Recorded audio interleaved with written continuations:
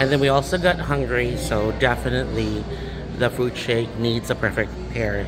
And that is Senora Sisig Bar. So it's really exciting because in their menu you can see that they have chicken sisig available, beef, seafood, bangus seafood.